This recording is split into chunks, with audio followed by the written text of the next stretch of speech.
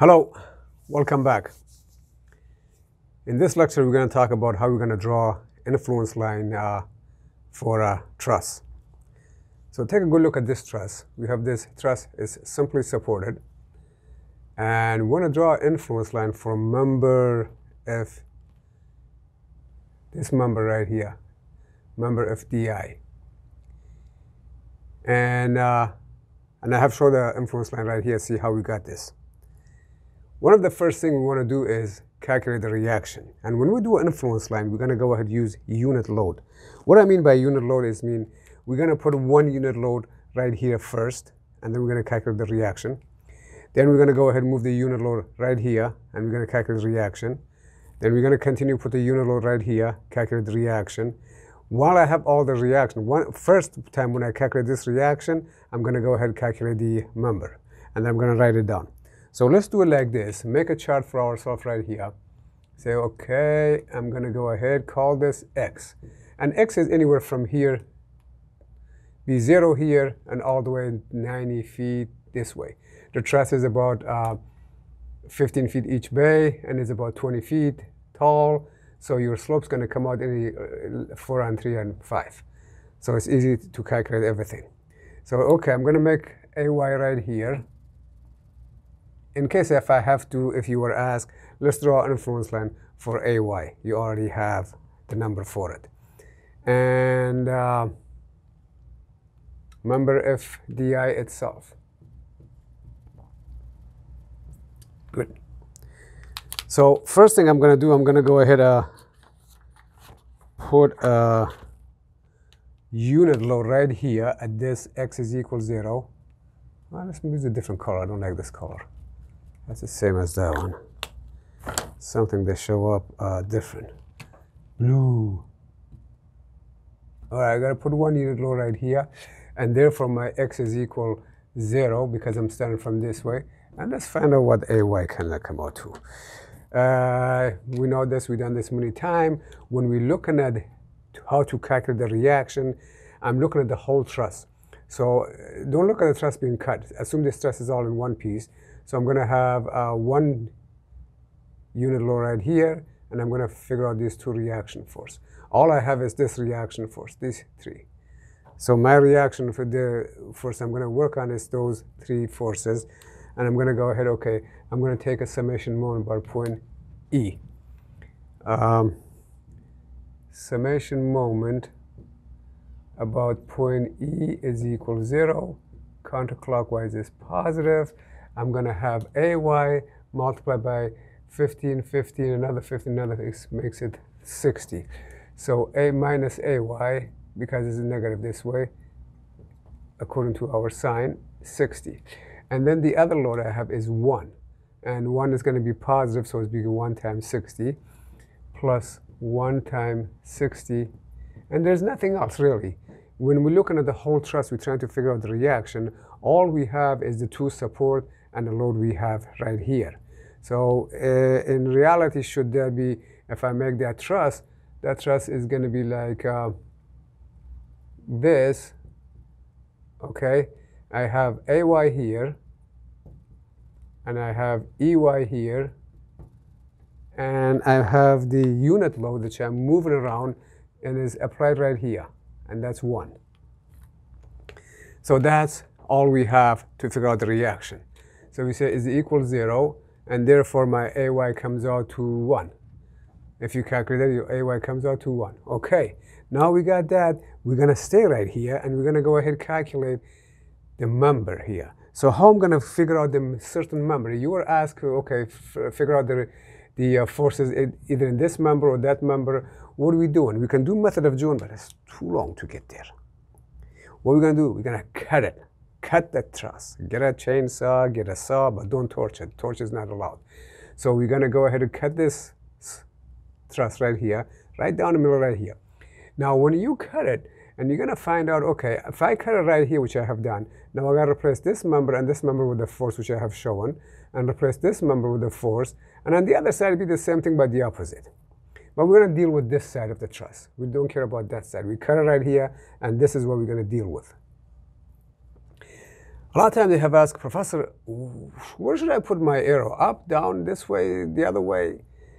If you do it wrong way, you're going to get a negative number. But take a look at what I have on the board here. Because we're moving load around here, this is going to turn, depending on what my load is, it could be compression or tension. So in here, we're just assuming it's going to be tension all on this side. And But if you move the load to the other side, things might get reversed. But normally, a normal truss, if it's load all over the place, is the top chord is a compression, bottom is a tension.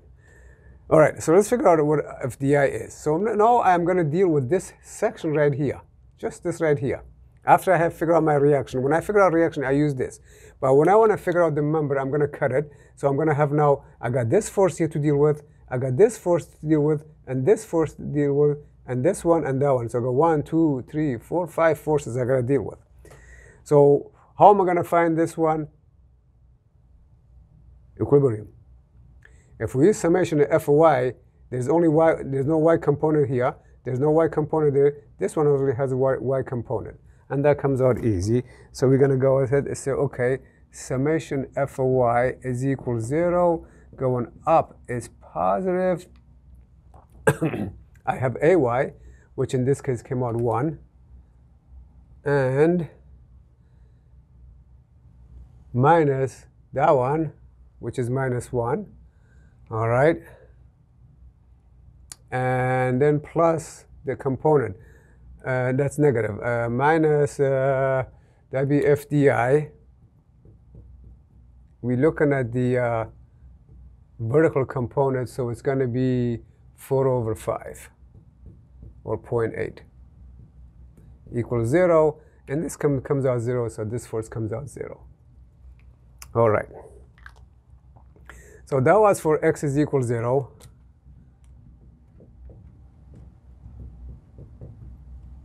Okay, now let's do go for x equal 15. What I mean by 15?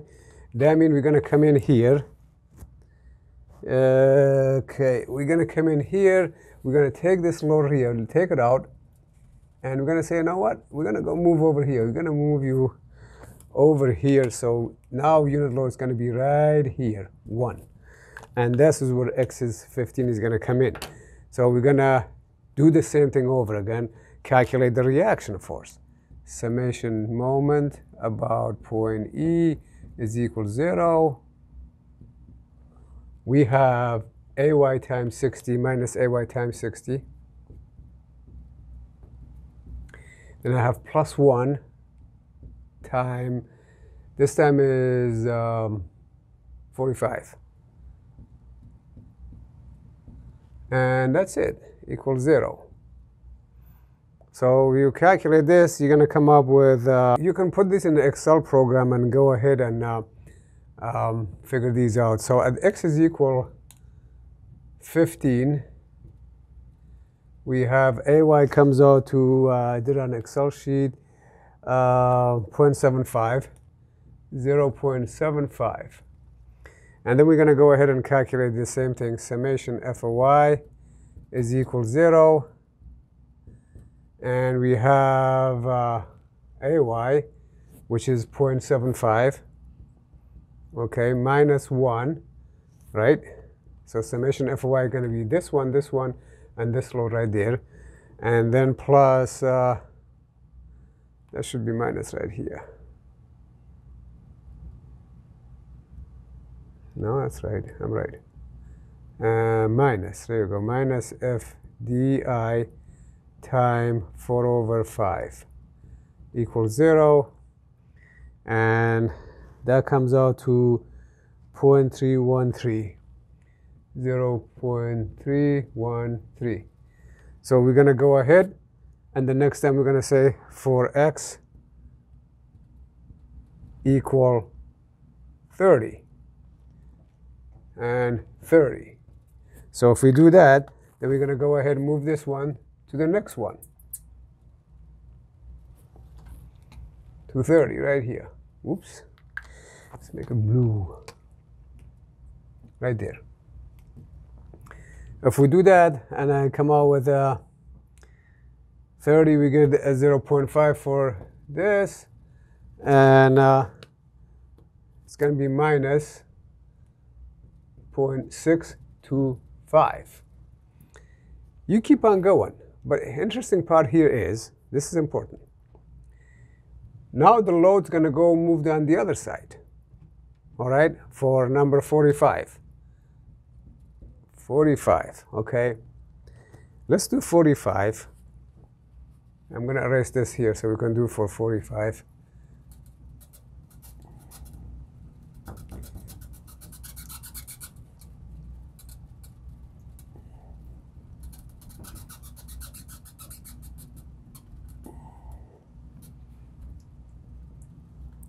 Okay, for x is equal 45 is interesting because now we have, we come into D.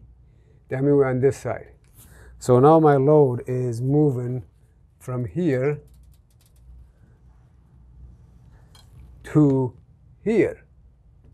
Okay. All I have left is right here. Uh, take a moment. Summation moment about point E is equal zero. Going counterclockwise is positive. Um,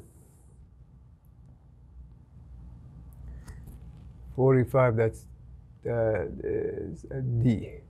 So I'm going to have uh, my load is going to be, the unit load is not going to be longer here at 45. It's going to be somewhere around here. That's one. Okay and it's going to be ay again minus ay times 60 and minus plus 1 it be believe it's going to be it's going to be a d so it's going to be about time 15 time 15 is equal to 0 and if you figure that out your ay is going to come out to uh, 0.25 Okay, so 15 divided by 60.25. Um, double check that.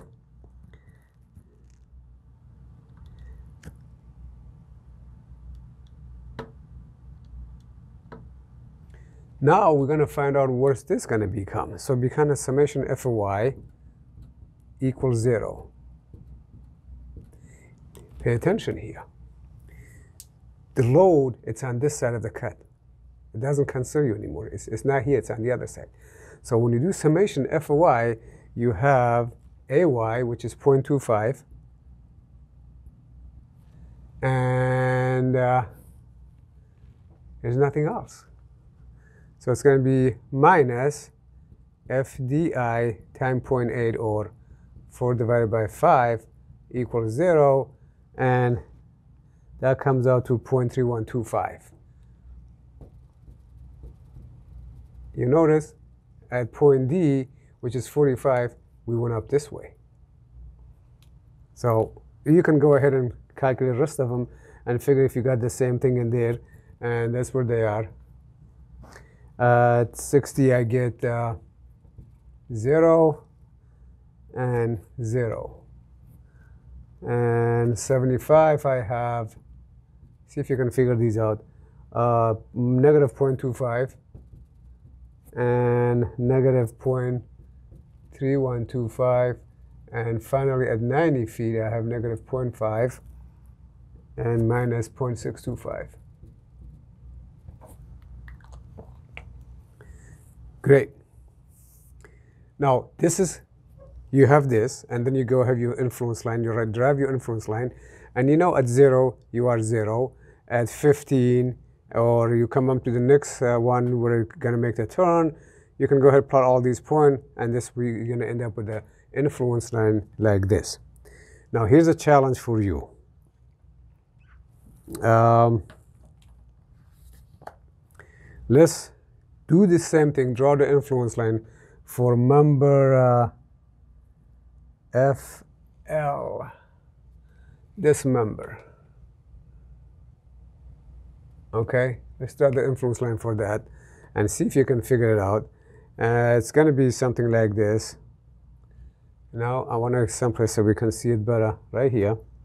So it's going to be like this, your influence line going straight. And what do I have? FL uh, started at E So your reaction at E is right here. Yes, it's going to go up like this, and it's going to come down like that. And that's 1. Rest of them is 0. So what do I mean, it's mean this is a zero member until the force comes down to the other side. See if you can figure that out. Good luck to you.